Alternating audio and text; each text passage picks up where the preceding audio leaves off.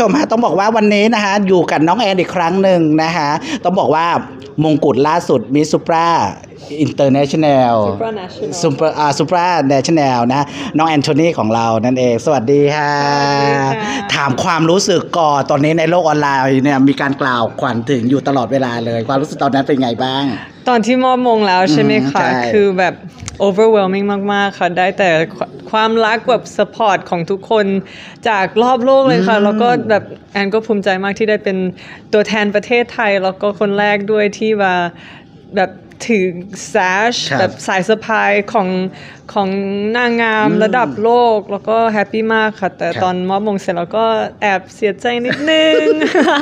ก็เหมือนทุกคนละครัค่ะบแต่ว่าแฮปปี้ที่ได้แบบมอบมงให้คนอื่นที่ที่รู้ว่าจะทำให้เต็มที่ค่ะ ครับอ่าพูดถึงในวงการบันเทิงบ้าง มีการวางแผนไว้อย่างไรบ้างตอนนี้ ก็ตอนนี้นะคะอืม ในการบันเทิงตอนนี้นะคะก็เหมือนมีโปรเจกต์เยอะๆเข้ามาอยู่ครับค่ะแต่ว่าเหมือนเออต้องเก็บไว้เป็นเซอร์ไพรส์ไว้ก่อนเออแต่แอนมีโปรเจกต์หลายอย่างที่อยากแชร์กับทุกคน เพราะว่าแอนตื่นเต้นมากเลยเอออืมแต่เก็บไว้เป็นเซอร์ไพรส์ไว้ก่อนค่ะได้อ่อะทีนี้พูดถึงน้องนางงามที่จะเข้าสู่วงการประกวดนางงามบ้างให้การเตรียมตัวอย่างไรตรงนี้ทำตัวอย่างไรบ้างอ่าสำหรับแอนนะคะ ถ้าแอนจะแนะนำอะไรแอนจะบอกให้อ่าน้องๆทำให้เต็มที่ถ้า มากับ purpose ของตัวเอง เพราะว่าถ้าเรามาโดยที่แบบเราไม่รู้ว่าเรามาเพื่ออะไร มันจะทำให้การที่เราแบบ perform มันจะยากขึ้นค่ะ แล้วก็อยากให้แบบ have fun เป็นตัวของตัวเองอืมแล้วก็จำไว้ว่าเรา